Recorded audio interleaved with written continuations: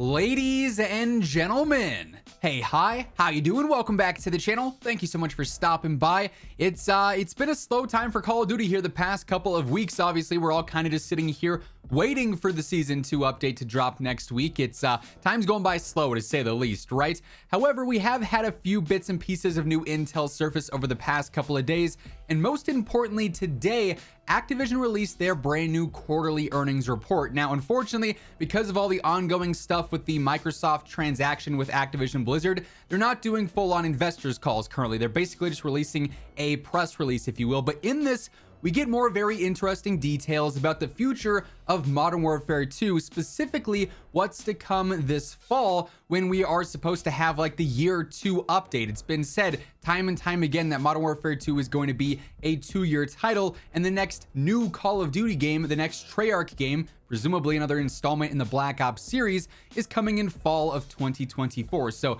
we do have some new details there, which is just furthering the confusion a bit, but also bringing forth some very interesting info at the same time. We'll get to that though. First up, I want to start with a couple of these smaller things that we've seen surface over the past couple of days. Obviously, Warzone hasn't seen too many updates over the past week or so. Keep in mind though, this Wednesday, we know we're getting the full on reveal for the roadmap and all the major content in season two but every single Wednesday seems to be like the weekly update day for MW2 and Warzone 2. So hopefully come Wednesday, we should see a new playlist update go live at the minimum, maybe with a couple of gameplay changes. We'll have to keep our eyes out for anything there. Of course, if there's new playlists, if there's new changes, I'll be sure to keep you guys updated. So stick it here for that. Be sure to hit that subscribe button, turn on those noties. But the last sort of update that we've got for Warzone 2 is actually a new issue that Raven's talking about that I have seen you guys talk about a ton, whether it's in the comments or over on my Twitter. By the way, if you don't follow me over there, feel free to do so on the road to 20K uh, over there. But uh, Raven did post a new update on Twitter and on the Trello board saying that they are actively investigating an issue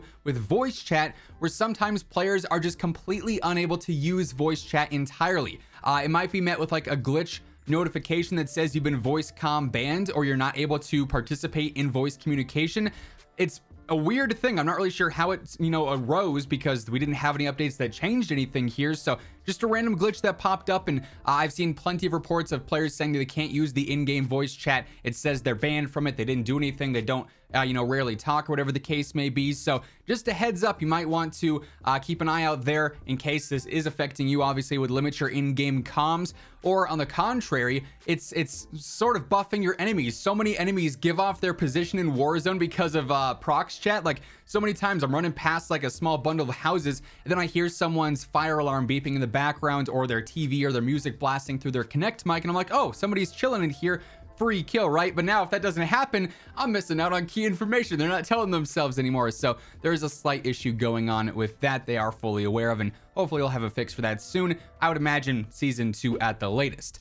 We also got a bit of a uh, content update, if you will, for multiplayer, or rather an update on some of the content for multiplayer. Uh, if you stay up to date with the leaks and the rumors videos here on the channel, we're always talking about the latest intel there. And one of the big things for Modern Warfare 2 multiplayer is that supposedly one of the new maps coming in Season 2 was going to be a remake of Castle. Uh, obviously, with the reveal of Ashika Island now, we know for a fact Castle like the main point of interest there. It's the Castle Stronghold, and it's basically the same thing from like World at War and Vanguard with some added areas around it since it is obviously, of course, part of a larger map. And that's going to be available for Resurgence and DMZ, and that's officially confirmed. Now, when we got the very first leak for Ashika Island a few months back, or a little while back, uh, it did mention that uh, it was going to be a map for Resurgence and DMZ, but also Ground War as well. And there was a lot of confusion when the first Season 2 key art images leaked because Castle was in the background and the Modern Warfare 2 logo was there. So a lot of players were just assuming there was going to be a Castle remake again here in Modern Warfare 2 multiplayer, which didn't really have many players excited. One, because it was a remake map, Two, because it's Castle. We just had it last year in Vanguard, and frankly, it's a huge map, too big for 6v6 in this game, but there were rumors for Ground War, and I was like, okay, that could be interesting. Still a remake map, though, but maybe better than 6v6.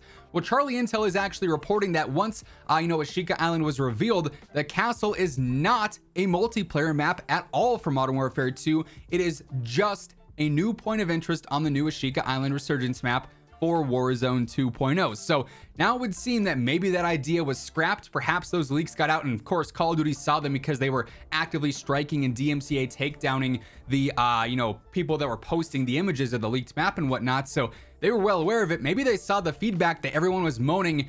Oh, why why are we getting castle again, man? Like nobody wants this really. So maybe they saw that and are like, okay, we'll scrap that. Uh, we do still have the leak slash the rumor from Charlie Intel saying that Museum might be coming back as one of the season two maps.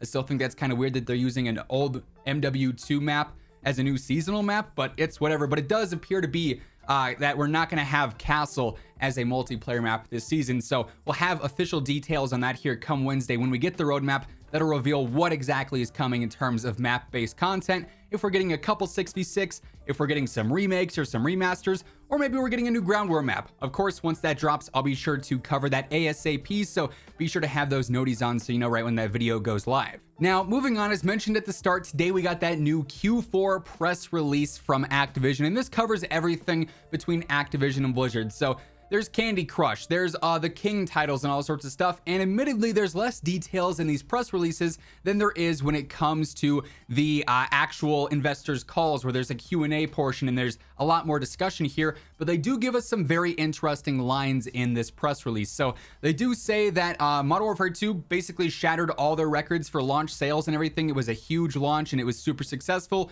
and Warzone 2 and DMZ added to that even more. It contributed to a strong year over year increase in franchise reach and engagement on console and PC in the fourth quarter, as well as a record quarterly player investment. So we saw record numbers with launches. Year over year engagement growth in the free title has moderated following launch, although next week sees the launch of Season 2, which will include new content, modes, and gameplay updates aimed at delighting the community and accelerating growth. So, of course, most of the updates we're seeing here in season two in just a couple of days are based on community feedback, which is why they say that. Uh, then they also end this by saying across the Call of Duty franchise, our teams are working to amplify the success of the fourth quarter in 2023 with plans including even more engaging live services across platforms and, this is the super important part, the next full annual premium release in the Blockbuster series.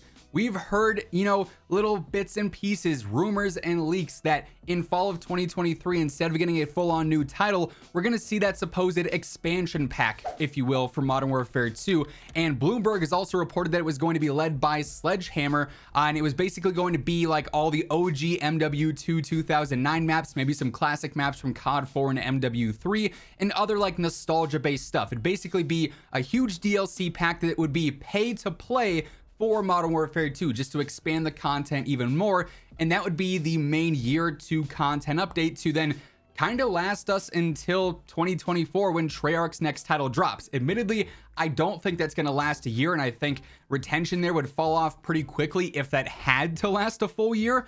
But now, this press release is saying it's going to be a full annual premium release, which just raises more questions. We know it's not going to be a Treyarch title, but could we be getting more now? Rather than just a couple of maps from the old MW2 or Modern Warfare franchise games and, you know, maybe some other like throwback skins or something, could we be seeing a whole new assortment of guns, a bunch of new maps, new operators, new camo challenges, all sorts of stuff, basically giving us a fresh start in multiplayer, if you will, but content that is on theme for Modern Warfare 2. Personally, that seems like it would draw a lot more interest. Obviously, it would play a lot on nostalgia.